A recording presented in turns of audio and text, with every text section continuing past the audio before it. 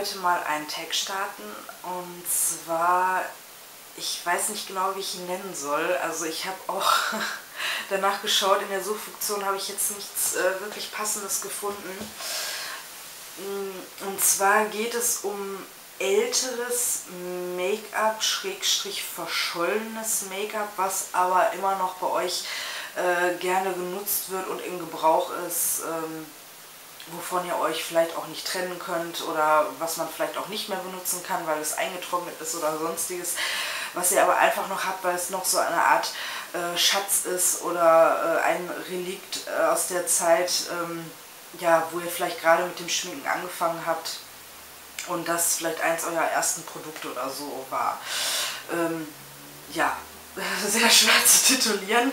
Ähm, zu dem Einfall bin ich gekommen, als ich äh, die Tage meinen Bronzer verwendet habe. Und zwar ist das einer von P2, den ich nämlich vor vielen, vielen Jahren mal von meiner Mutter geschenkt bekommen habe, wo ich mich frage, warum hat meine Mutter sich den geholt oder hat sie den für mich geholt? Ähm, keine Ahnung, ich musste mal fragen, weil meine Mutter generell eigentlich von Make-up gar nichts hält. Sie hat auch selber eigentlich kein Make-up, außer jetzt vielleicht eine getötete Tagescreme oder so. Aber ähm, ja, wie gesagt, habe ich damals bekommen, das ist bestimmt jetzt schon fünf oder sechs Jahre alt, das Ding, wenn nicht sogar noch älter. Ich weiß es ehrlich gesagt nicht. Äh, vielleicht kennt das ja noch einer von euch. Und zwar ist das, ich meine, aus einer Kollektion gewesen, ähm, Bronzing Powder Tropical Nights. Und zwar ist das von Tropical Nights die 070 Tropical Earth. Ähm, ich habe es jetzt erst wiedergefunden bei meinem Umzug, also was heißt jetzt erst wieder vor, weiß nicht, ein, zwei Jahren oder so. Ähm, da bin ich nämlich mal meine ganzen Sachen an Schminke und die Kissen, die ich habe, durchgegangen und habe mal aussortiert, vieles leider auch weggeschmissen, wo ich dem ja noch hinterher traue, dass ich es nicht behalten habe. Ähm, ja. Und zwar, ähm, ja, wie gesagt, also äh, ich habe es damals von meiner Mutter bekommen.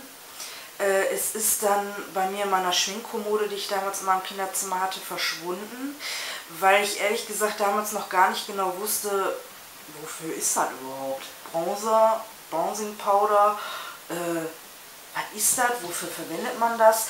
Das war halt so die Zeit, ich denke mal so 16, 17, 18 oder so. Ähm, ja, da habe ich mich damals noch nicht so wirklich damit befasst, so mit einzelnen Sachen. Da hatte ich halt so mein Standard-Make-up gehabt und ähm, habe mich halt so geschminkt, wie ich das immer wollte. Äh, da gibt es auch einige Make-up-Sünden, da könnte ich noch ein eigenes Video zu machen. Ähm, wenn ich an die Zeit denke, äh, da gibt es so einige Fauxpas bei mir, die ich äh, ja heutzutage Gott sei Dank nicht mehr mache. Aber wie gesagt, Bronzing Powder war jetzt für mich so nicht notwendig. Ähm, ich fand es zwar schön, deswegen habe ich es auch äh, behalten, Gott sei Dank, weil mittlerweile verwende ich es nämlich sehr oft, also eigentlich täglich. Und ähm, bin sehr froh, dass ich das habe und habe jetzt erst äh, ja, dieses Produkt äh, wertgeschätzt. Ja, das wäre das eine, also das, womit das überhaupt alles gestartet hat. Dann habe ich halt mal rumgeguckt und habe dann diverse andere Sachen noch gefunden, wo ich mir dachte, jo. ähm, unter anderem von Jade ein äh, Cool Effect Cooling Cream Eyeshadow von Jade Maybelline in der Farbe 02 Cool Blues. Ähm, das habe ich sogar noch mal mehr gekauft damals. Das fand ich wohl anscheinend äh, bei DM damals so spannend, dass ich es mir direkt zweimal geholt habe. Mittlerweile benutze ich es auch wieder. Ähm, ich habe es, äh, als ich es damals gekauft habe, habe ich es benutzt. Ähm, ich habe es damals benutzt, äh, zu der Zeit, nachdem ich es mir gekauft habe, aber äh, jetzt ähm, ja nicht so, wie wie man es wirklich gebrauchen sollte, sag ich jetzt mal so. Äh, ich zeige euch das eben mal für die Leute, die das nicht kennen. Das, man quetscht halt hier so ein bisschen raus und wenn man das dann verteilt, hat man halt so einen ganz schönen Schimmer-Cooling-Effekt.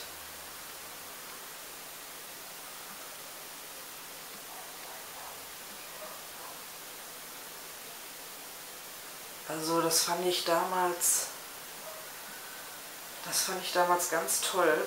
Ähm, eben halt ein Fauxpas, der dabei passiert ist, ist halt, dass, dass damals bei mir auf das gesamte Lied aufgetragen wurde und äh, natürlich nichts drüber zum Fixieren oder sowas, weil das dann natürlich eine cremige, am Anfang sogar recht flüssige Konsistenz hat.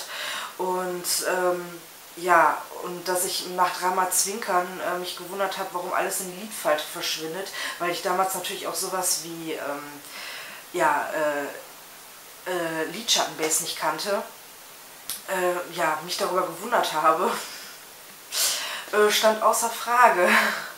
Und ja, dann ist das erstmal so in die Ecke verschwunden und dann habe ich es wie gesagt beim Umzug wiedergefunden und äh, benutze es jetzt je nachdem manchmal oben als äh, Highlighter oder ähm, ja, arbeite das in das Make-up mit ein und ja, ich entdecke es so gesehen momentan einfach neu.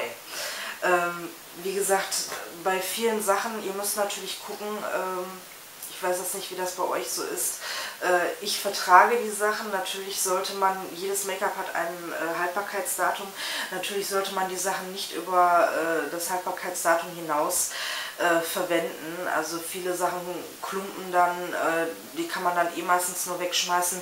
Wenn ihr jetzt natürlich so Sachen habt, äh, wie ich hier, äh, die noch die gleiche Konsistenz wie damals haben und man es auch noch benutzen kann. Äh, seid trotzdem vorsichtig. Ich weiß, dass ich es vertrage, aber wenn einer von euch jetzt natürlich ähm, sensibler Haut hat oder äh, allgemein weiß, dass er auf so etwas immer komisch reagiert, dann probiert das lieber vorher an irgendeiner Stelle eurer Hand aus lasst es 24 Stunden drauf und guckt dann, ob ihr irgendwelche Rötungen oder sonst was habt. Weil gerade Sachen, die in den Augenbereich gelangen, darf man natürlich nicht mit spaßen. Und äh, wie gesagt, falls äh, bei euch da irgendwas auftreten sollte, dann schmeißt es weg, bringt einfach nichts mehr. In meinem Fall habe ich Glück, die Sachen halten noch wunderbar. Das ist bestimmt auch schon sechs oder sieben Jahre alt, also mindestens. Dann habe ich als nächstes auch noch gefunden, die beiden Teile hier von Astor. ähm, und zwar sind das Eiglosse. Und zwar habe ich hier einmal die Farbe 008 Satin White, wie gesagt von Astor. Und hier Eyegloss ähm, in der Farbe 011 Beige Bronze. Wie gesagt, das hier ist einmal so ein Weiß. Das sind Cremelidschatten. Geh auf hier und die haben halt so einen schönen, auch wieder so einen schönen Cooling-Effekt. Ähm, ich glaube, das habe ich damals zur selben Zeit geholt wie äh, halt das Zeug hier, weil ich damals auf dieses äh, Schimmergedöne und ähm, Glitzer hier und Glitzer da total abgefahren bin. Das war halt zur Zeit äh, Disse und weggehen und überhaupt draußen auffallen und ach, ich trage Make-up und bla bla bla. Wie gesagt, hier ähm, sehr schön, also benutze ich auch heute äh, mittlerweile jetzt wieder total gerne. Ähm, das hier auch, das habe ich früher sehr oft gerne ähm, ja, für mein Alltag-Make-up benutzt. Äh, ja, natürlich auch wieder einfach so aufgetragen, gewundert, warum verschwindet es in die Lidfalte und ähm, hat mich aber trotzdem nicht weiter gestört. Also ich bin dann auch so weiter rumgelaufen.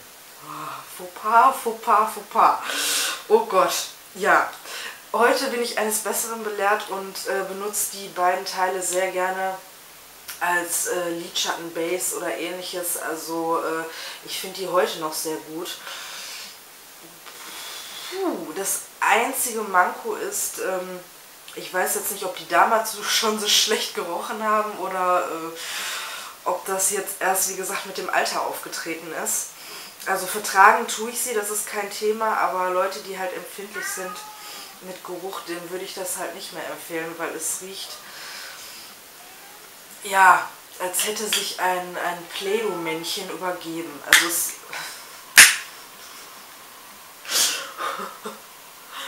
ähm, ich kann es irgendwie nicht anders beschreiben. Es riecht irgendwie nach Play-Doh-Kotze. Nein, ich weiß es nicht.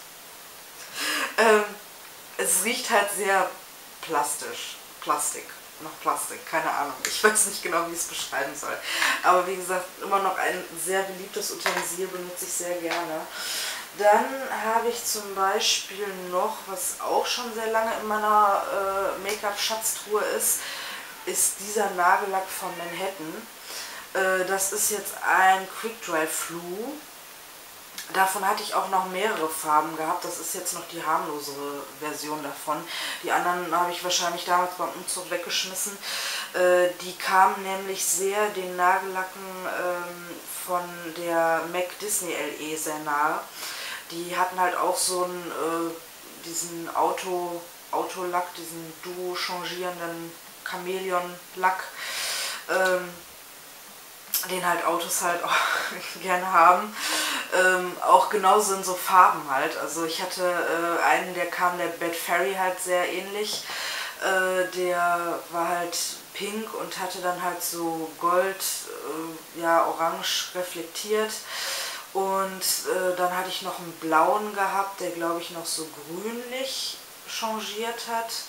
Äh, der halt ja nicht wirklich dem Formidable ähnlich kam, aber ähm, ja, also es hätten gute Anführungsstrichen nicht wirklich Dupes sein können, aber ähm, gute Konkurrenten. Wie gesagt, ich habe jetzt momentan nur noch den grünen, der ist halt nicht wirklich spektakulär, der ist jetzt halt nur so leicht, ja, hm, schimmernd durchzogen, auch mit grün, gold, bläulich, aber halt nicht so extrem.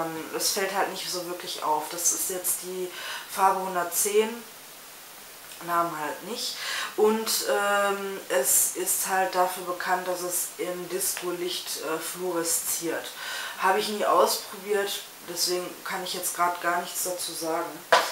Ähm, dann habe ich noch, noch, noch, noch den Nagellack hier von P2. Da sah P2 Nagellack noch so aus und nicht so. also auch schon ein etwas älteres Schätzchen. Ich weiß gar nicht, wie alt das jetzt ist. Das ist jetzt die 134 von damals. Keine Ahnung, wie die hieß. Heißt äh, von P2. Das ist das Triple Power Nail Polish 3 in 1, was es gab. Was sollte das denn überhaupt? Ultra Elastic Long Lasting und Quick Dry. Oh.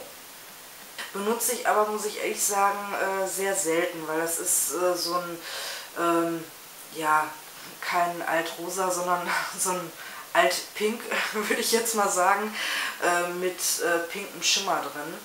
Ähm, sieht so sehr schön aus, aber ich finde, das hat irgendwie so was Oma-haftes. Ich weiß nicht genau, wie ich das sagen soll, aber ähm, weiß ich jetzt nicht. Ich muss sie vielleicht nochmal irgendwie drauf machen oder auf dem Nailwheel äh, mal swatchen oder so. Ähm, wie gesagt, ich habe es jetzt auch nicht oft benutzt. Ich glaube, es war auch wieder eins dieser Dinge, die meine Mutter mir damals mitgebracht hat, wo ich wieder denke, warum hat meine Mutter äh, Nagellack gekauft? Meine Mutter trägt keinen Nagellack. Ähm, ja, wie gesagt, ich habe noch einige andere Schätze, aber das würde jetzt hier den Rahmen einfach sprengen falls euch das äh, jetzt irgendwie bekannt vorkam oder die Produkte bekannt vorkamen oder wie gesagt ihr auch noch solche Schätze habt, dann tagge ich euch jetzt hiermit ähm, und würde mich halt gerne, ja, ich würde mich über eine Videoantwort freuen äh, eurerseits, weil ich auch gerne mal wissen möchte, was ihr noch für alte Schätze ähm, ja, bei euch so rumliegen habt, die ihr auch noch gerne verwendet oder die ihr einfach nur aus äh, Gründen der Nostalgie behalten habt ja, wie gesagt, da würde ich mich äh, über eine Antwort freuen. Und wenn euch das Video gefallen hat, dann ähm, ja, kommentiert es, gebt mir einen Daumen hoch, hoch, abonniert mich und dann bin ich glücklich. so, ich wünsche euch jetzt noch einen schönen Tag und ähm, ich bin da mal weg. Ne? Tschüss!